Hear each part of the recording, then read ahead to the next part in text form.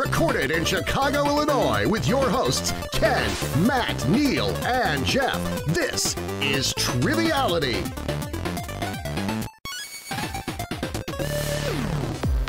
Hello and welcome to Triviality, the game where lack of seriousness meets a little bit of knowledge. My name is Neal, joined here with Ken. How's it going? Doing okay. Me and Jeff were just working on our new studio table. Oh, that's right. I saw some pictures you sent over. How's that been going? As uh, Michelangelo says, uh, we're just removing all the wood that isn't the table. Okay. I guess I understand that. Were you touching fingertips like the uh, that painting? Uh, me and Jeff, Yeah. we always touch touch tips. Oh, Okay. But you remove the wood, but you still touch tips, is what you're saying. Yes, that's right. Uh, well, that's good. Good- Glad to hear that. Jeff, how are you doing? Pretty well, thanks, Neal. Not after that. no, I'm so disappointed. that's the name of my autobiography. Um, Those are our guests, which we'll get to in just a minute. but no, yeah, we're working on uh, a little project. Uh, I found some reclaimed wood that would work nicely for a studio table, so we're just uh, we're making a table that would fit uh, the room well. So We're reclaiming the wood. Yeah, nice. You rec- reclaimed the wood, went to Claim Jumper afterwards, got some takeout. Great to hear. Uh, Matt is not here, unfortunately. It is October. He wanted to be festive, so he is bobbing for Apple. Uh, not any more than one apple. He's trying to socially distance himself, but uh, hopefully he'll catch it. Neal, you're just barely here, right? I'm yeah, I'm barely uh, barely lucid and kind of barely here. I suffered a uh, mild concussion uh, not too long ago. Too Um, many combat uh, combat sports, right? yeah, I was playing rollerball with James Caan uh, and uh, trying to, to make a practice squad uh, for the Tennessee Titans because they have so many COVID uh, positives. So I was trying to see if I can get on the team. Now, now is uh, James Caan in the first rollerball or the second rollerball ball or both? He's he's in the original, and then Chris Klein is in the uh, the remake okay. uh, from his American Pie fame, and obviously didn't work out with rollerball. But I mean, I love you, Neal, but I feel like your remake of Miracle, Miracle Two, where you get a concussion like six minutes into the movie, isn't a very compelling story. it isn't. But the more compelling story was I got the concussion after watching Will Smith's movie Concussion. So um, no, uh, You're the only one. yeah, right. Uh, no, actually, I I'll, I feel bad, but I was helping Colleen with a video for her college, for her alma mater. They were doing a um, uh, special Zoom performance thing, and uh, there was a, a dresser in the frame, and I thought it looked uh, bad, so I got on the floor to move the dresser, and as I was pulling it, we forgot that there was a lamp on top of the dresser, and it fell directly on the back of my head. Yeah. I'll do it. Yeah. So, uh, but I, I'm gonna just be color commentary today because I'm um, a little out of it, but uh, Get well soon, We're Neal. glad you're Thank you. you're well enough to even appear on the episode because not even a concussion concussion. See, I can't even say it. Can stop Neal from appearing. Thank you. the. I'm the the Iron Man of podcasting, the Cal Ripken of uh, triviality. There you go. Um, well, uh, we'll introduce our host, who's going to be doing a lot of the heavy lifting today. Uh, you've uh, heard her on many previous episodes. I'm not actually sure what number this is, but it's pretty high up. Uh, Definitely in the Five Timers Club, that's for sure. definitely in the Five oh, Timers Club. well Club. past that at this point. Hello, Emily Baker. Hi. I haven't seen you virtually or in person in so long. I know. And in Miss masks, you. no less. I know. Not me over here in my apartment. You get to see my lovely lipstick color. Um, but no, it's so nice to see you guys. I'm so happy to be here. Thank you for joining us. And uh, you prepared a game for us today with your Bob Barker microphone. Is that right? I, d- I did, yes. I'm looking very official. I'm playing the role. I'm going really like um, method acting on this part, so I'm ready. And all of the pets are spayed and neutered. So That's that's most important. Yes, that's the most important part. Just uh, stay away from Adam Sandler, and I think you'll be okay today. Um, we'd uh, love to introduce our next uh, pair of guests. It was one of our favorite emails we received in a in a long time. Uh, John Rapp, uh, who is a rules guy enthusiast on Patreon, we appreciate his support. Uh, reached out as a birthday surprise for his wife Emily, uh, and they are in Denver. How are you both? Doing really well. Thanks for having us on the show. Really looking forward to it. Of course. So, uh, how does this rank as far as uh, birthday gifts go, Emily? Uh, it's pretty up there. I was very surprised. I didn't know that we could make this happen. so I'm a little nervous and very excited. Don't be nervous. There's no possible way you could embarrass yourself more than we do on a weekly basis. So it should be all good. I figure we'll see how good the gift is once uh, we see how we place. Yeah, we might be like the lowest scoring, in which case it might be, uh, you know, a terrible birthday surprise. Uh, why don't you tell us a little bit about yourself? Uh, so Emily and I transplanted into Denver, Colorado from St. Louis, Missouri. Uh, I came out here for work. I manage a, a genetics laboratory out here in Denver. and I'll let Emily introduce herself a little bit. Yeah, I work remotely um, for a pharmaceutical company doing medical writing. And uh, so I was working remotely before the pandemic. Um, excited to come along to Denver for the ride. We always wanted to live in Colorado. Um, we brought our dog Aspen. So um, we named her when we were in St. Louis, I know I see that face, um, and it was kind of a quirky, cute name there, and now it's kind of a, a on the nose now that we're in Colorado. But she's loving it out here. We're doing some hiking for social distancing, and uh, looking forward to maybe doing some snowshoeing instead of Yeah. skiing this upcoming winter. So, um, That yeah, it's been great. better than my life. Yeah, seriously, oh my god. Um, so for the audience at home, uh, we have two Emilys on the show. So Emily Rapp, uh, along with John, um, she's going to be known as uh, Birthday Emily. And then uh, Emily, what is your name? Um, in in the tradition of the Spice Girls, I'm going today. I'm going to be Scary Emily. Okay. Not only because Scary Spice is my favorite, but it's also like October. I'm feeling very spooky, There you so I'm. Scary Emily today. Very nice. I like that. That's good. So on, on the note of uh, naming uh, people, we need our team names before we toss it over to the rules guy. So Jeff, what do you want to be? Table Bros? Ah, that's such a better name than Tip Touchers. So yeah, no. Fingertips. Fingertips. Uh, we'll, we'll be the Table Bros. The old table bros. I feel like that is something in college towns you'd hire the, the bros to come out and either move furniture or build it, you know? Can I can I propose a team name for John, John and Emily as well? Yes, I'd love to hear it. Since yeah. you're a couple and you work in a genetics lab, how about your Genomeo and Juliet? Romeo and Juliet. I love it. I like that actually. Yeah, very good. It's Very hard good, to say, but Genomeo and Juliet. yeah, give it a go. I hope you guys are going to keep track of those names because I can't probably say those words. Ta- table boys or table bros? Table Bros. I also like table. I am going to probably just call you table boys. That's fine. Spelled B O I S. Either's fine. B O I S like Skater Boy. Yeah. All right. Yeah. Emily, what rules guy you want to hear from today? Let's do classic. Classic rules guy. Let's hear All it. right. The rules of the game are simple. 20 questions split into two rounds worth 10 points apiece. At halftime, there'll be a special swing round designed by this week's host.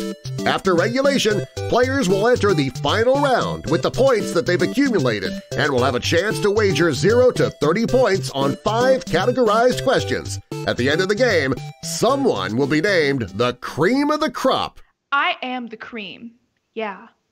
The cream of the crop. All right. Well, uh, the rules have been uh, read. We have The rules are spoken. The rules are spoken. We have the Table Bros versus Genomeo and Juliet. I might not talk too much, but if you don't hear me, I'm okay. Uh, they will keep out. they will keep me awake. Uh, Emily, take it away. Oh, Boise. All right, here we go. Um, let's just get right into it with question one.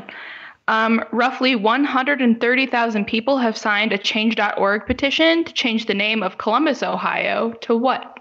We can lock in. Oh, good. Jeff knows it. Jeff may have signed this petition. We have a guess. We'll, we'll lock in with Go, freedom. go for it. Freedom. Yeah. Okay, freedom and uh, Yeah. freedom. Yeah. And uh, Columbus, as we know, kind of a terrible guy. Do you know who's not a terrible guy? Guy Fieri. So uh, I believe this is Flavor Town. Pretty good guy. It sure is. It Oh, sure is Flavor Town. I had no idea. I'm in favor of They're Flavor trying Town. to get 150,000 signatures. So if you're listening, you haven't signed this petition yet, please do. I really need this. I need this for me. we need this this year to happen. I really need this to happen. All right, let's. Uh, we'll move on to question two. Um, who is America's most decorated Winter Olympian? So we were really between skiing and snowboarding. So we struggled between Lindsey Vonn and Shaun White, Mhm. but I think we're going to go with Lindsey Vonn. We also discussed some uh, downhill skiing, uh, but we were thinking uh, Picabo Street. But then I said, "Oh no," and we said Apolo Ohno. Um, Oh. Oh no! Yeah, it is Apolo Ohno. Um, he has only he only has eight medals total. So America, like as far as being the most decorated Winter Olympian, that's like I mean that's still a lot of that's more medals than I have. But yeah, he has medals. Well, he does have the Dancing with the Stars uh, trophy as well. Oh my god. All right, we'll move along to question three. Um, the expression murder most foul comes from a Shakespeare play. I just need to know which one. Okay, Ken. So this is really easy because there's only one Shakespeare play where somebody gets murdered. Yeah, Wait. Let's check. let's check the chart in Neal's bathroom for the 90th time. All right. Um, so let's think. Uh, Murder Most Foul. Macbeth uh, would be a good candidate for this. Um, Are there any chicken murders? Hamlet would be a good candidate for this. I would murder most foul. I don't think it's Macbeth actually, because I know Macbeth pretty well. Yeah. I don't know Hamlet that well, but There's definitely some murderins. there's definitely some murderins in Hamlet. So let's say, oh, what about Julius Caesar? Or Othello. I don't think it's Othello. Let's say Julius Caesar, Okay. just as a I- outside No, I- outside guess. I like it. okay. We were going between a couple of different options, but considering that it's spooky October, we, Yeah, we thought maybe Macbeth would be the uh, the right course. there's a lot of spooky elements. There are a lot of spooky elements in Macbeth, uh, and it's probably my favorite Shakespeare uh, work. Um, we're going to take an outside guess and say Julius Caesar, since his murder was pretty foul. Uh, a little disappointed, guys.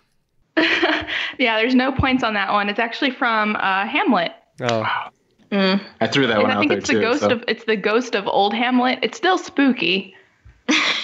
Yeah, It's I, just a different ghost. yeah, I believe it's his uh, the ghost of his dad saying that he was murdered and he has to, he has to solve his uh, his murder. hmm that was definitely our top uh, contender for answer, but then we switched at the last minute. You so- did. You had it for a while there. Um, yeah. and you and you switched it. Uh, also, Oh. I believe a Bob Dylan song based on him on the is. yeah. It's one of my favorite expressions because I love to say it like a murder most foul. You got to say it like very very, like. very classic. Very Agatha Christie. Yeah. but I just like to say it like that. Anyway, uh, question four. Winning a total of nine Emmys, this television program holds the record for most Emmys won for a comedy program in a single year. What show is it? All right, we're locked in. All right, we're locked into. We're finally feeling confident on this one. We're gonna go with Schitt's Creek. I know that they just swept the the recent comedy category. Um, yeah, All right, good show, and uh, Jeff and I agree that we think it's Schitt's Creek. Yeah, it was Schitt's Creek. They recently swept and uh, the comedy categories and won nine Emmys. Yeah, It, that's it Well wasn't really. deserved. It wasn't Long really time coming. satisfying. It's a great last show. season. hmm Yeah, I loved uh, Eugene Levy's speech that he, he said it took him his entire career to win an Emmy, and he had to play a straight man, and he's been playing goofy characters his whole yeah, life. really. Yeah. It's so good. It's one of my favorites. I had to give them their congratulations in some way. All right, let's do a let's do a science. Um, when the blood vessels and arteries in the very back of the throat, including the ones that take blood to your brain, constrict, it can cause sphenopalatine ganglioneuralgia. What is the common name for this? You okay, Neal? Do it. I just had Palpatine in my head the entire Yeah. time. She said Palpatine. I lost it. I'm You're, sorry. you're concussed, Neal. Is that is that brain freeze? uh, could yeah, could be. This this does seem like it's uh, gonna have a cute well, I was hearing with answer, like right? sphenopalatine. I was thinking maybe like maybe like the, the soft palate. yeah, Con- and it, and it would constrict if it was cold. Yeah. So that, that makes sense, and it yeah, it does hurt your brain for some unknown reason. So yeah, okay, sounds good. I'm guessing. Yeah, we're ready too. Um, we were thinking that it's something way cuter than the ominous description, but we're gonna go with brain freeze. And uh, we too went with uh, a good old brain freeze, ice cream headache, something like that. Yeah, everybody gets points on that. It is a brain freeze. Um, I work in neurology currently, so I, Surgeon. I'm pretty sure I've heard one of my residents talking about this, but they called it the full name and it was very spooky sounding, but it's not. It's just a brain freeze. It's All right. like uh, when I install a stadiometer in the hospital, which is literally a height measuring stick, Oh, which is what everybody calls it. oh, I thought that would be what they use at the NFL now with no fans in the stands. do do you install it slightly wrong just to give everybody an extra inch? no, not at all. No. No, I have to use like a special calibrated steel bar so that like you know people are measured exactly to height. Well, you're no fun. well, apparently medications matter. The old Jeff, I just uh, want to I feel good about myself and my no height, and I think it's kind of rude of you to not to not give me that opportunity. the old table Uh, give kids the opportunity to be a little taller. the old table bros trying to get an extra inch. Uh, so the scores uh, after five questions uh, are uh, Genomeo and Juliet with 20 points, and the Table Bros with 40. It's still it's it's anyone's game here. Um, as we move into question six, what video game was jokingly codenamed Sonic's Ass Game during development? The name came from the player being forced to look at the backside of a character in a third-person platformer, which was a new concept at the time. All right, so we are locked in. Um, what did you have? Um, so the first 3D platformer I could think of was Mario 64. So we just went with uh, Mario. Yeah, and I had almost nothing to contribute, so I agreed. Okay, Mario 64. We are going with something, I think it was a little bit earlier, and it's uh, Crash Bandicoot, because that was all from behind. Yes, it was Crash Bandicoot. I didn't think about that. yeah, Yeah, we were trying and then to the think new of. one the new one just came out, I believe. Yeah. We were trying The to new think of something that was entirely from beh- a behind camera angle, and it was like that really narrowed it down for us because we talked about Sonic 3D too, but that was kind of a side angle, and camera for Mario is kind of all around too. So Yeah, you could you could move the camera. I guess. Also, I Um, don't I don't think that they would call a Sonic game Sonic's ass game. But maybe, that's just, maybe that's just me. um, okay, guys. Question seven. Uh, what is the small pocket in front of Levi's originally intended to store? oh, I thought I knew. I thought I knew this, but no, I don't. Yeah, we are kind of worried that that might be a trick question, but um, for simplicity, we're going to go with what we think it's named for, which is coin. All right. Well, um, for some reason, I associate Levi jeans with the gold rush, so maybe uh, it's for little nuggets of gold. Um, unfortunately, no points. It was actually for pocket watches. It was for like miners, but it was so that they could keep track of time. Oh. So they'd put their pocket Not watch in the little baby riches. pocket. I talked John out of that answer, unfortunately. I will say that entire time I thought you guys were talking about minors as in young children, and I just realized what you were saying. Gold Neal, Neal's Line. concussed. Child labor. Title of the episode today is Neal's concussed. Oh man. Uh, question eight. Uh, Pheasant Island, the location where Louis XIV met his future wife, Maria Theresa, as well as where Louis XV met his intended bride, Mariana Victoria, has, since a treaty in 1659, been co administered by what two countries? This is actually where I uh, met Jeff too, so We uh, can we're locked lock Oh, in. in. cute. That's Oh. nice. That's not true. A love story. Table Bros, a love story. the Table Boys. now, now I have two episode titles to pick from. What should I do? Let's see. It's terrible There's so too many, and I'm gonna make. I'm gonna just keep giving you good t- uh, episode names, so you won't be able to pick between any of them. And then it's gonna be the longest episode title you ever have. Just string them all together. It'll be like Doctor Strangelove. All right, uh, John and uh, Emily, uh, what were you thinking? Uh, not much, to be honest with you. I know I haven't heard of this island. Have you, Em? No, no. Um, yeah, we're we're both kind of drawing blanks on this one. So Lock it in with a guess. yeah, we're just gonna go with our guess, which is uh, England and France. Well, with uh, Louis XIV, I believe you have one of them, uh, France. The other one is its neighbor, Spain. Mm. Yeah, it is France and Spain. I'm tempted to give like half points because you guys got France, and that's one of them. Give them, Give give him him five five. Give him Give- five. All right. Give me Yeah. five. We'll take our That's- token that's five. of Yes. Yeah, take the I'm not gonna snub it. because that's because that's on a guess, and I'm impressed. For hundreds of years, they literally every six months hand control over to the other country. It's nice. Yeah. Let's do question nine. Prior to landing the role of Troy on Community, Donald Glover was a writer for what sitcom from 2006 to 2009? And we'll lock that in. Office, Parks and Rec. He kind of has some when Community came out. I feel like he's got some like nerdy tendencies. Yeah, I mean, if you have a thought, I here, don't like anything. I, I don't really have anything to contribute on this one. I, I'm a little embarrassed. I don't know. So we're just between really Office and Parks and Rec because we were trying to think what was popular at that time. So I'm gonna go Parks and Rec. Sure. yeah.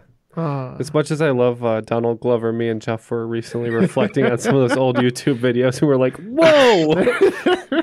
they're pretty offensive. Yeah. Uh, but uh, yeah, as much as we would love to see uh, Troy and Abed and Liz Lemon in the morning, um, he wrote for 30 Rock. Oh, He Sure okay. did. It's one of my favorite shows of all time. Um, Right, bolt. yeah, I don't know if Parks and Rec was. I don't know what year it aired. I feel like it was seven. later.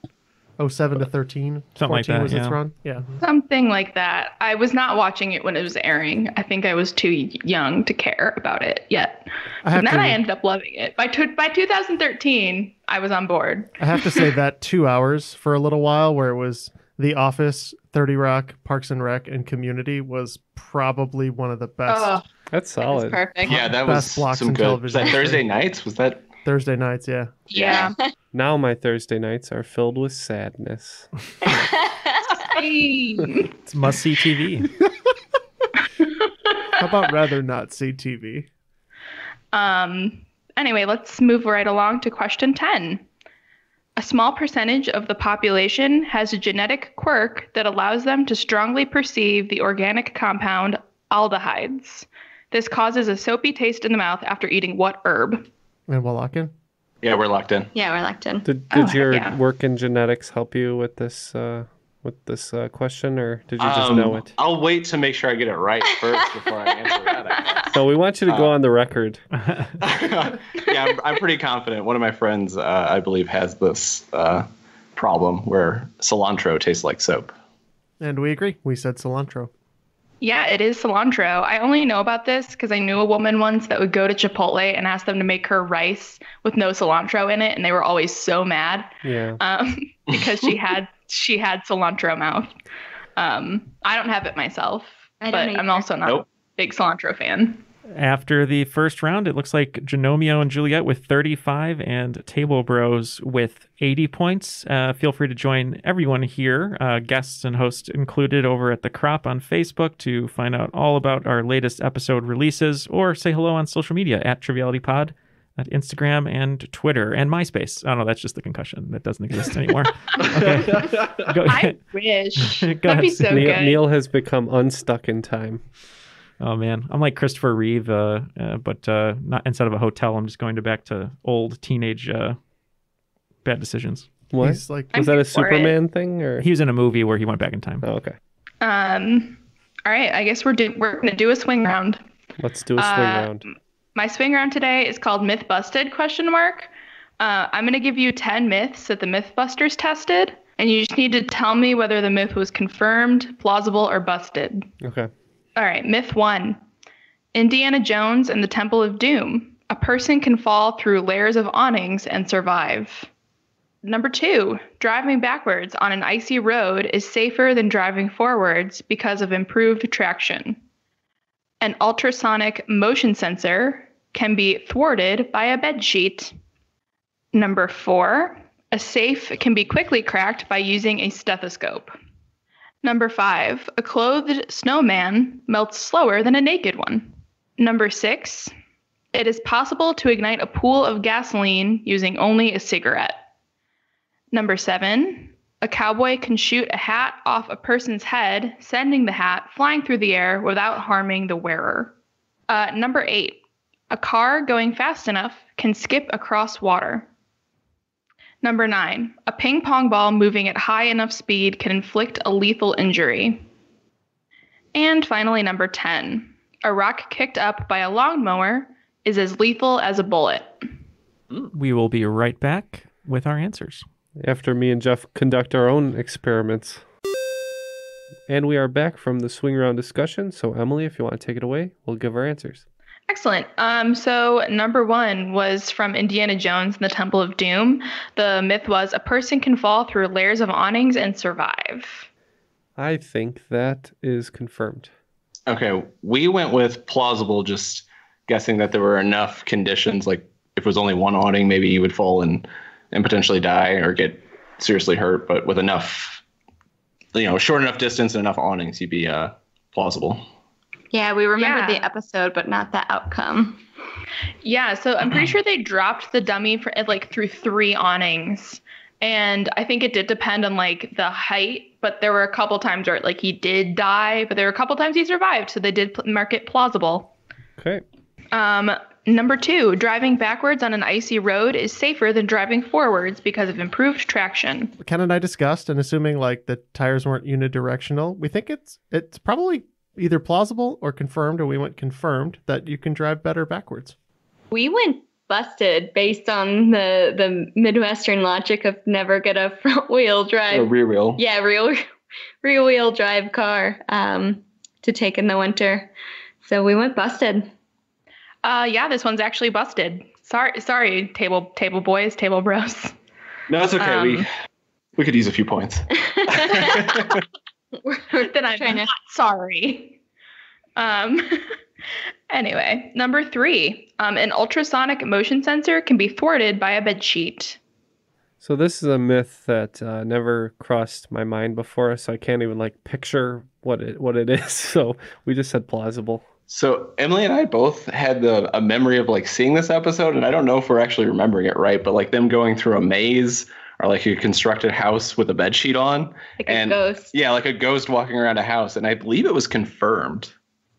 Yeah, this one's confirmed. It's a very good episode because it's just like them kind of like walking through a house with like a bed sheet on, and they completely get rid of the the, the sensors. So Fun, that fun one's fact: confirmed. uh, just wear a bed sheet. You can get into anyone's Skype stream. Apparently, So Apparently, so right now we have around. the two biggest MythBusters fans in the world apparently versus two guys who haven't seen MythBusters since 2006 probably.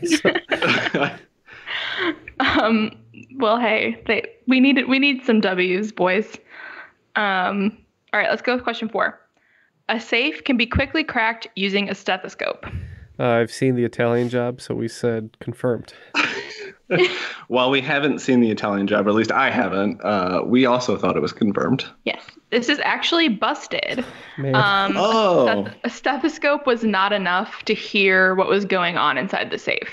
At least enough to help them. It's kind of a movie, a movie trope. All right, number five. A clothed snowman melts slower than a naked snowman. Okay. Well, we've been wrong about a lot, but we're gonna stay with what we decided, and I I don't think that's right. So we said busted. We we said confirmed, but we had um, polar opinions on it. I thought that the clothes might trap heat against the snowman and melt him faster, but John made the great point that the snowman is not generating his own heat. So we said confirmed the clothed snowman would melt slower. Yeah, it is confirmed. I told you, Jeff. I thought because I thought it would like reflect refract more Yeah. light though. Yeah, yeah, okay. And I said it's it for would insulate exact, the it's for the exact reason they mentioned. Um, it traps it traps the coldness. You know, it doesn't. The snowman snowmen don't generate heat, so the clothes keep it Jeff. cold. Damn longer. thermodynamics. Okay, next.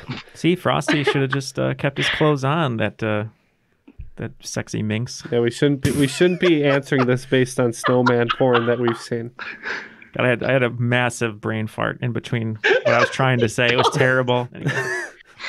Neal's concussed more than usual. Frosty Neal, the w- sexy man. We hope you're doing all right. That's the episode. Oh my god. Thank you. Right. Number six. It is possible to ignite a pool of gasoline using only a cigarette. All right, Jeff and I think we remember this one, and we both said busted. Yeah, we were uh, right there with you, thinking it was busted. It was plausible. Oh It- God, man. You guys are really exposing yourselves um, in terms of Mythbusters. Unlike Frosty.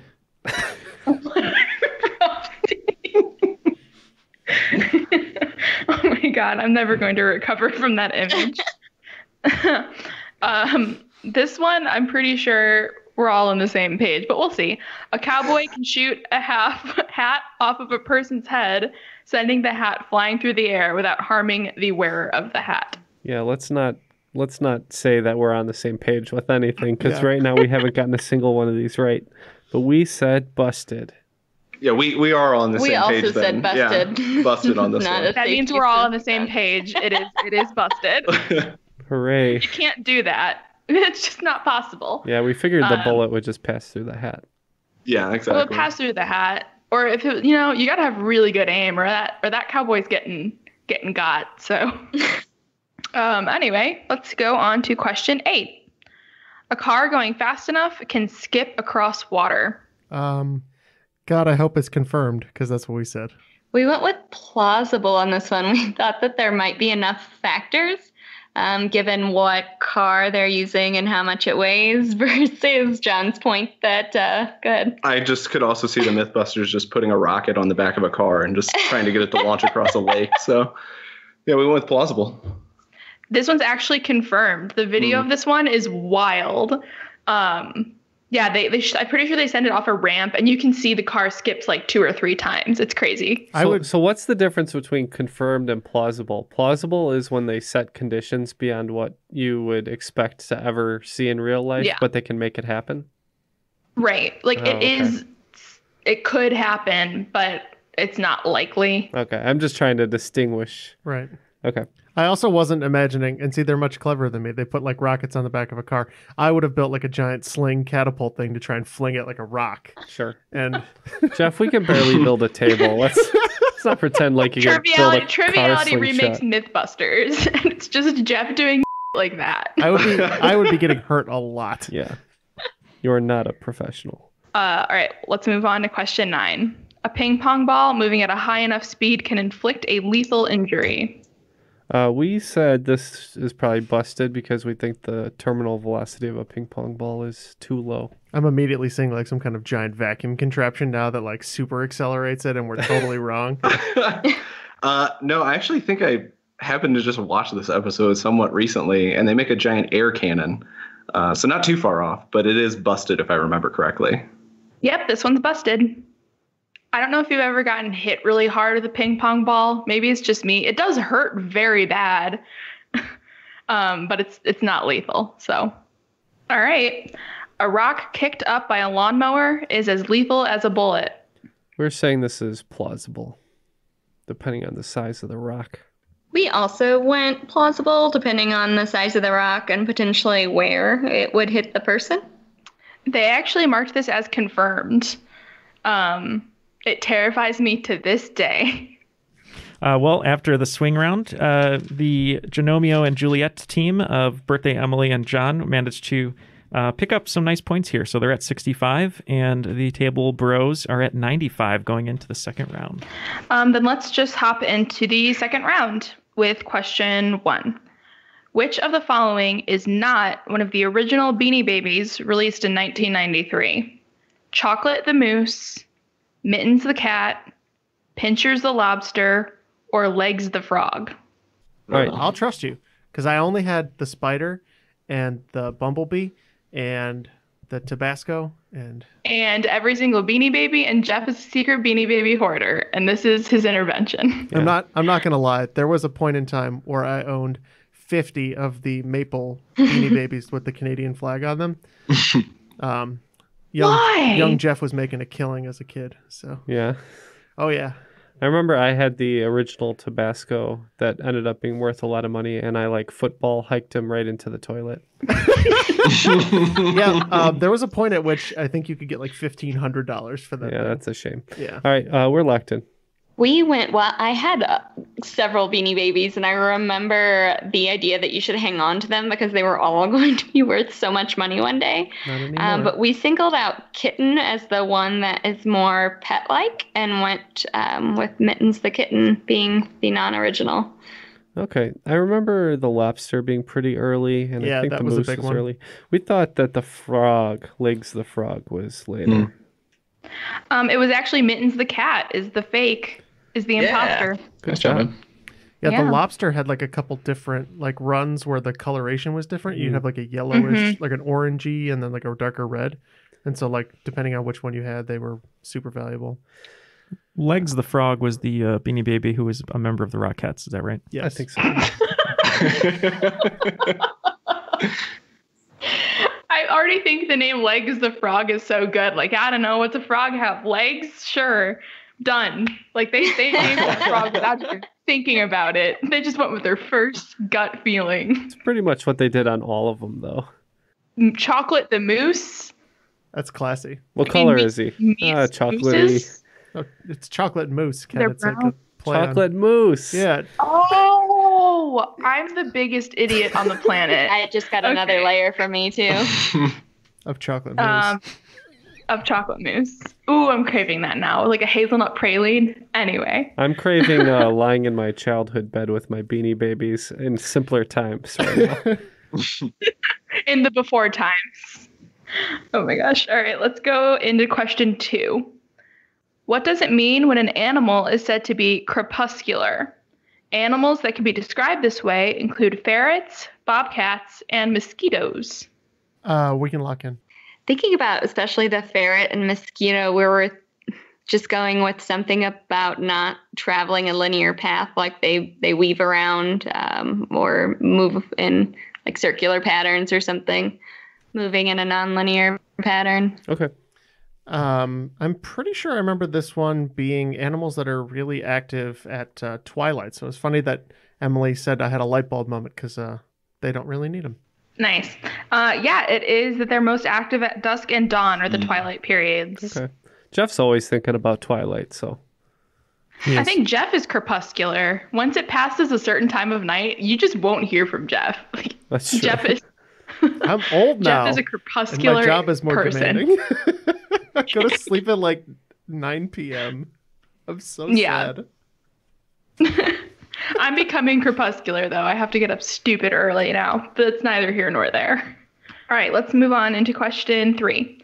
Um, not including Super Bowls, what 1994 Olympic event shattered the record for most watched non football sporting event in U.S. television history, drawing in 78.8 million viewers?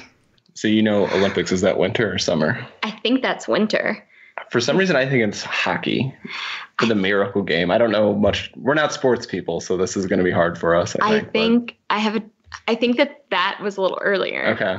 My guess is Nancy Kerrigan, Tonya Harding, Oh. Ooh, okay. The- That's yeah. That's a good guess. I like the that. infamous knee situation. Okay. Yeah, I, I'm thinking the figure skating event, Kerrigan and Harding. Okay. We were actually thinking this was summer. I could be wrong though, but I thought it was the women's team gymnastics. Um, so Genomeo and Juliet were correct. It was ladies figure skating. Um, they I don't think they caught my little hint, but I did say it shattered the record because this Oh, is come on, Emily. Kerrigan, uh, had got her knee shattered. So she she came back and she got a, a silver medal. She got a medal. Yeah, that was Um, uh, Lillehammer, right? Yeah, I guess so. Yeah, if, uh, if you accepted my invitation to see Richard Jewell at the movie theater when it came out, you would know that the Summer Olympics were 96 Okay. Yes, in Atlanta. Mm-hmm. in Atlanta. 92 is Barcelona. Uh, all right, guys. Question four. In Thor Ragnarok, Loki, disguised as his father Odin, stages a play about his own triumphs and heroic death. What actor plays Loki in the play that he stages? Reluctant. It's so good. Neither of us watched the Marvel movies, so I this is going to be hard for us, I think. But um, You think it's a Hemsworth? that's I don't know. It seems like that would be The lesser known Hemsworth. Yeah, like an ironic twist in that. I Is don't that know. Liam? I don't. I don't know any of the Hemsworths, so I just know there's a few of them. Okay. Well, I'm going to go off of John's trail of thought here and just say Liam Hemsworth. So I think Liam Hemsworth is in the play, right? Sam O'Neill plays. Thor. So Sam O'Neill plays Odin. Sam Neill Yeah. plays Odin. Sam Neill, yeah. Yeah. Yeah. And I think one of the Hemsworth brothers plays Thor in the play, but Loki is played by none other than Matt Damon. Yeah, it is Matt Oh. Damon. So Yeah, I've not It's seen one of my favorite random Marvel cam like just people to put in a Marvel movie. It's just like it was just very comforting to see Matt Damon. Didn't Matt Damon have a cameo in uh what is it was it Deadpool 2 or something also? Yeah. Like he was one of Possibly, he was yeah. like a hillbilly on the Mhm. back of a truck. Yeah, he was in like a Yeah. huge amount of makeup. Yeah. Yeah, but Thor Ragnarok is one of my favorite Marvel movies ever, so It's I really, had to really. Yeah. Same. had to include it. Matt Damon loves a cameo. What? Oh, he With does. Euro I, Trip. I bet he likes doing it more than like big roles now. It's more fun. Yeah. Yeah. Just get get paid, get free food, just come in for a day, go back home. All right, guys, question five.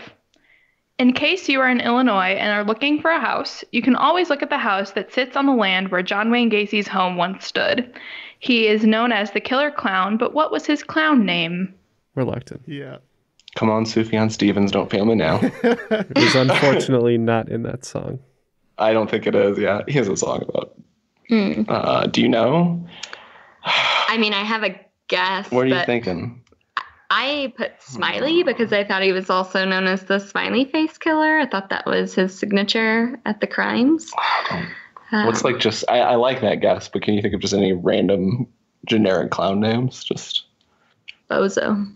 It was, it was actually. Don't you Bozo. dare slander Bozo. yeah, putting Bozo As Bozo a out on Chicagoan, I'm deeply offended. Uh, well, you know when you I threw the don't want to pong, disgrace the grand prize game. the uh, inside the buckets were just body parts. That's where the ping pong. Well, if you could throw the ping Oh. pong ball at the right I- velocity, cool it with could be fatal. I, Yeah. thi- I don't have anything to contribute, so Yeah, my only my only guess to link it to what I thought his signature was is Smiley. Okay, uh, we are going with what we think is the correct answer of Pogo. yep, it's po- it's Mhm. Pogo the clown. You could hire Pogo the clown for all your all your various events, And then buy his old house, apparently. and then uh, somebody actually bought it. I think Oh, around what a- 2019. What a person. God bless Yikes. him. my my dad once woke me up. It was like a December, and I was like sleeping. He woke me up and said, "Hey, you want to go see where John Wayne Gacy's house was?" No. no, I did though. I did want to. see So I, so we drove there. It's just a normal looking house now. I'm Yeah. surprised So- it wasn't like leveled. I, I think that's what she said. It was it's just the land that the new house was built on. Yeah. Yeah. Yeah, Craig T. Nelson's Oh, yeah. taught us that nothing bad happens if you have a house on land that shouldn't be yours. So, um, so after the uh, the first five questions of the second round, uh, Genomeo and Juliet are at 85, uh, the year of my birth, and then uh, Team uh, Table Bros at 125. Just gonna let that poltergeist reference just slide on top of the From now on, I'm just going to make references and never say the title of the movie anymore. It's not no point. Just see if someone gets it. They'll, they'll have a little warm spot in their heart. Yeah. or mention somebody mention out there will be the like, crop. nice. Yeah. You know, like Yeah. somebody will appreciate it. Uh, okay, let's go on to question six. The atomic symbol for what element on a periodic table is derived from the Latin word plumbum? we can lock in. Yep. Yeah, we're yeah, we can lock in. Ooh, Nice. You guys as- wanna- Nice. You guys want to start us off? Yeah. Sure, go ahead. We think it's lead. Uh, PB? oh, yep, symbol PB. Yeah, that's where we get the word plumber from, I think. We said lead. Yeah, it is lead. Good job, guys. Um, quick transition then into question seven. The estate of Mike Ilitch, the founder and owner of Little Caesars Pizza, currently owns what NHL team, which began as the Cougars in 1926, became the Falcons in 1930, and took its current name in 1932? Gonna lock in here with a bit of a guess because this is this is a tough one for us. Yeah, same here. Yeah, we, we really don't know. Again, sports tough one for us. Sports is not our, our strong suit. Um, we thought that Little Caesars read like a Midwestern chain. Um, so we just used that logic and settled on the Blackhawks. Uh, Blackhawks are original six, so we didn't think that. Um, but we're gonna go with uh, a Canadian team and say uh, Calgary Flames. Um, no points on this one. It's actually the Detroit Red Wings. So you guys were right with the Midwest path. It's just getting to that team was The Red Wings are original six too, though. Hmm. they were originally the Cougars. Huh. I would have. That was actually where I would have directed you guys if it was a team question because I know um, Jets Pizza, I believe, is based in in uh, Michigan, and I remember them and Little Caesars were based in Michigan because it was like a rivalry. Cool. Mm-hmm. Yeah. Uh, maybe you'll you'll know question eight. Let's move on to there. So question eight is in the early hours of March 18th, 1990, 13 works of art were stolen from a museum in Boston. To this day, it is considered the largest art heist and property theft in history, with none of the works being recovered. What museum were these art works stolen from? I mean, can you think of any museums in Boston? Because that's I know, To me, unfortunately, like- we cannot come up with the name of an art museum in Boston. I think one of the paintings that were stolen were the Scream, because I know that that's been stolen several times now. Um, but I cannot think of a name of a museum, so I think we're going in uh, going in blank here. I don't. Yeah, I don't even think I have a guess. Okay. So these guys are tapping. Uh, we also are familiar with the event, but don't know the name of the museum. So we're gonna go with the Boston Art Yard. What if I was just like, yeah, that's it? Uh, no, it's called the Isabella Stewart Gardner Museum. So close. That was So co- colloquially close. known as the Boston Art Yard. yeah. Yeah. yes. Where Yep. you can uh, Um, bring in Duncan museum- for free. The museum's currently offering a $10 million reward for any information leading to the recovery of the paintings and sculptures. So if you know anything, I don't know, call Jeff, in, let Jeff, us you know. Wanna, you we'll wanna split the return 10 these and we'll we'll go in on it. we'll get 10 million. That would be a great triviality, uh, like side hustle show. Just us trying to find the, the painting to get the ten Trying million. to solve the Gardner heist. Or we could we could become art thieves. Mhm. Wait till they offer the reward, so we Hmm. don't have to fence them, and then we return them. That's a smart plan. Yeah. I'm gonna, I'm gonna very slyly transition us to question nine. Uh, what shocking Wes Craven horror movie carried the marketing tagline "To avoid fainting, keep repeating, it's only a movie"? All right, so interestingly enough, I watched a couple of Wes Craven movies over the last uh, couple weeks, Mhm. including uh, Last House on the Left, which sucked. Even though it's like a horror classic. Neal, what do you think? Oh, it's, Wes really, it's Left- like really bad. well, it- yeah, it was like his first one. It's very uh, gratuitous. Yeah, It's gratuitous, but it, The like, remake's the better. tone is like bonkers. yeah. The remake's better. But anyways, uh, also Scream. Yep. I wonder if it's Scream because it's kind of meta, and saying it's only a movie is kind of meta too. they are uh, they are locked in. So feel free to tell us your Wes Craven fandom if you have any. Um, turns out we don't. I think. Is I know, we're super struggling Yeah, again. round two is tough for us. We're Um, trying to play on the hint in the question um, about it being shocking. So we were down the road of do you want to do, like, something with electricity, like but Frankenstein or something like that. uh, that doesn't sound right I though. don't know. I don't know. I I hung on to the part it's only a movie um, and was thinking arachnophobia because I know a lot of people have fear of spiders. I'll throw So in whatever your your guess is. The best guess I have is arachnophobia. I think we're gonna lock in with that. We are gonna say um, Scream due to its meta nature. So saying it's only a movie is kind of playing into that. Uh, so uh, good guesses from both of you guys, but it's actually Last House on the Left. All right, so I have a special question 10 for us. Um, I have taken the lyrics from a song and I've put them through Google Translate 10 times with different languages. Love it. So I'm just going to read these new lyrics and you just need to tell me what song it is meant to be. Okay. Girl in the city. He lived in his town. World. I'm sure he didn't have a son on the street. I'm sure her mother never told her why. Try downtown girls. We are locked in. So why don't you guys go ahead first?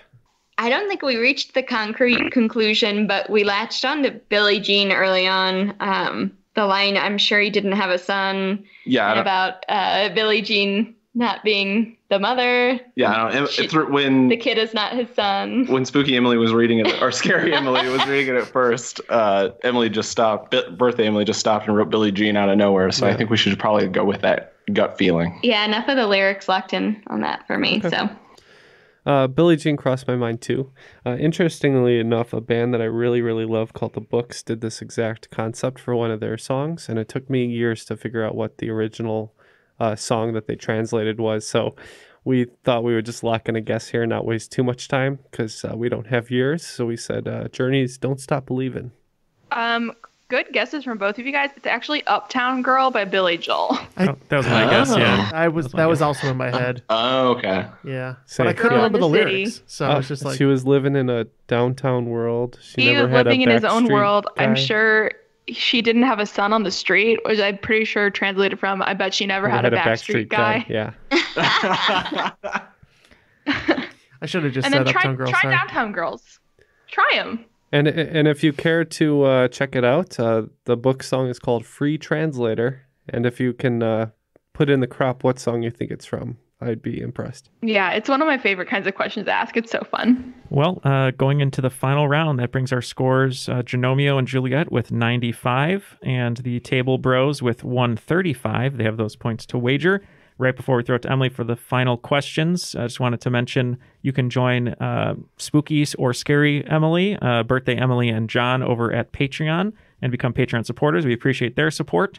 Uh, John and uh, Emily are uh, supporters at the Rules Guy Enthusiast level, which means they're going to be getting a specially curated character box and uh, poster uh, for being supporters, as well as over 35 hours of extra content as Patreon bonuses, crop drops, all that good stuff. So if you'd like to join them and help support the show, which is much needed during this time, you can go to patreon.com slash triviality podcast. So, Emily, what are those categories? Um, we've got Ratatouille, Up, Coco, Moana, and Bolt because I couldn't think of a Pixar movie that has to do with dogs. All the points on that one. Okay.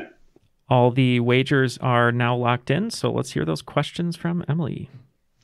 Uh, all right, so for the category Ratatouille, charcuterie is the French term for the art of preparing and assembling cured meats and other meat products with an assortment of toast, fruit, cheese, and sausage. What is the term for French appetizers consisting of sliced or whole raw vegetables, which are typically dipped in a vinaigrette or other dipping sauce? Uh, for category up, which two countries that share a border have the furthest distance between their capitals? For the category Coco, the Grammy Award for Best Disco Recording was added in 1980 and then removed the following year due to the backlash against disco. What triumphant 1978 single took home the lone Grammy Award for Best Disco Recording? For the category Moana, in what sport do teams compete for the America's Cup? And then for the category Bolt, because I couldn't find a Pixar movie that has to do with dogs. Trump is the first president in 130 years to not have a pet dog in the White House. Obama had two, George Bush had three, Bill Clinton had one, and George H.W. Bush had two. Name three of the seven dogs of the presidents that I just listed. And I will also include Bill Clinton's cat because I like Bill Clinton's cat. So that makes eight pets to choose from. Okay. We'll consider these answers and we'll be back. All the answers are now locked in, so let's hear those questions one more time, and our teams will give their final answers. Um, so for the category ratatouille, since it's French cuisine, um, charcuterie is the art of preparing various meats and cheeses and toast and fruits and things. Uh, so I needed to know what the term is for the French appetizers consisting of sliced or whole raw vegetables that are dipped in vinaigrettes or other dipping sauces. All right, we wagered 20 on that one. Uh, this was very difficult and we don't know, so we just said a relish. We also wagered 10 points. Um, and we love charcuterie. We love food. So we're hoping it's crudité. Yeah, it is crudité. Nice job. I'm a big charcuterie fan myself, so yes, indeed. oh, Very so good. bougie. It's so bougie, but it's like also so easy. Anyway. That's the thing I want to get good at this year is making charcuterie boards. I want to get really good at it. Um, Look, look no further all right. than uh, your local table bros. They can uh, build one for you. Table Bros, build me a charcuterie board. Actually, my uncle is a professional, like, wooden spoon and charcuterie board maker. Is that real? Yeah, you know someone? Oh, wow. that's so cool. I know a guy. Oh my god, hit me up, hook me up with your guy. I need, All right, I need we'll this, do. We'll do. need this information. All I have is like Kraft mac and cheese in my fr- fridge, so I need to start getting on it. All right, guys, for the category up, since they travel around the world, which two countries that share a border have the furthest distance between their capitals? Um, I'm going to call an audible because I definitely know this one. So we wagered 20 on this one. And uh, Ken and I had locked in an answer, but I had something stuck in my head and I couldn't get it out. And I think I know why. And uh, we said that this is actually Russia and North Korea. Ooh, that's good. That is really Yeah. good. So we discussed Russia. We did. We did discuss Russia, but I didn't think about their borders uh, in Asia. But we went with something a little closer to home, thinking the United States is pretty big and Mexico City isn't all that close to DC. So we went with Mexico and the U.S. Um, the the table bros getting the points on this one. It is Russia and North Korea. Mm. I couldn't I couldn't get out of the head my head the why was I thinking about how short their border was? And then I remembered that actually as Beijing is pretty far north. So Hmm. North Korea Mhm. is actually kind of like east of that. So Okay. yeah. Yeah. All right, guys. For Coco, since it is a musical movie, uh, the Grammy Award for Best Disco Recording was added in 1980 and then removed the following year because people did not like disco. What triumphant 1978 single took home the lone Grammy Award for Best Disco Recording? Yeah. Unlike the Grammy, uh, we wagered 20 on this one. Unlike the Grammy, uh, which will not survive past that one year, we said uh, I Will Survive by Gloria Gaynor. We also picked up on the triumphant hit and went with I Will Survive. And we wagered 10 Yeah, on that. that is. Yep, that's the correct answer. It's "I Will Survive," the only only disco Grammy. So sad. All right. Uh, all right. For the category Moana, um, what sport do teams compete in for the America's Cup? Uh, we wagered another 20 on this one, and we said sailing. So uh, we wagered 10 points on this one. Not really sure where to go with it, but we ended up with uh, surfing. Yeah, it is sailing. Um, the the Moana category kind of gave it a little hint, but she does sail around with the Rock's character, whose name I can't remember right now. That's uh, Um, Maui. Maui.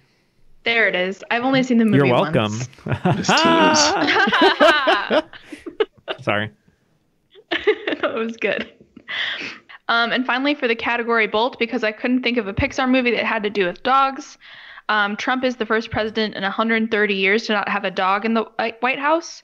Um, so I asked you to tell me the names of the dogs that either Obama, George Bush, Bill Clinton, or George H.W. Bush. And then Bill Clinton's cat got an honorable mention.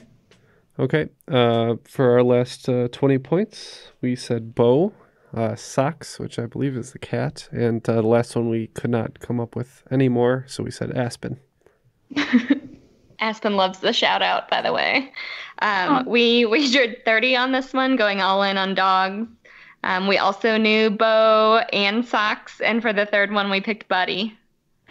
Yeah, so 30 points going to uh, to Genomeo and Juliet. Uh, so Obama had Sunny and Bo, um, and then there was Miss Beazley, Spot, and Barney.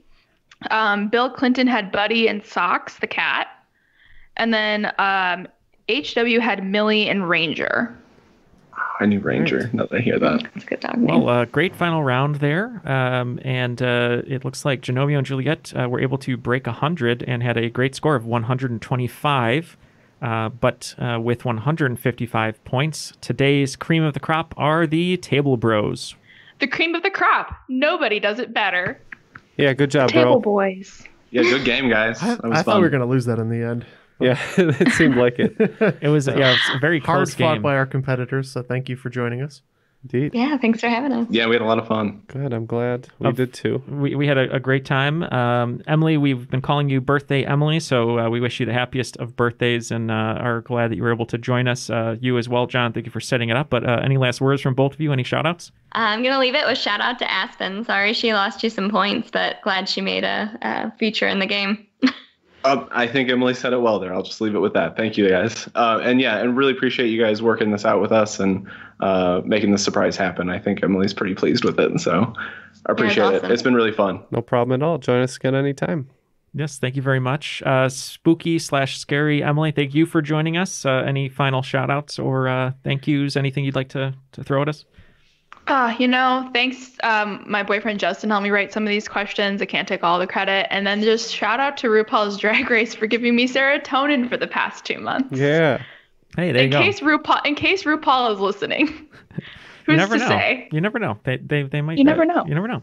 Uh, well, thank you very much, uh, everyone, for joining us, especially all three of you for being Patreon supporters. Thank you, everyone, for listening. Uh, thank you to Ken and Jeff uh, for keeping me awake, making sure I don't uh, fall into a deep sleep. And uh, Matt, we hope you got that one apple that you were bobbing for. Uh, my name is Neal, and that was Triviality.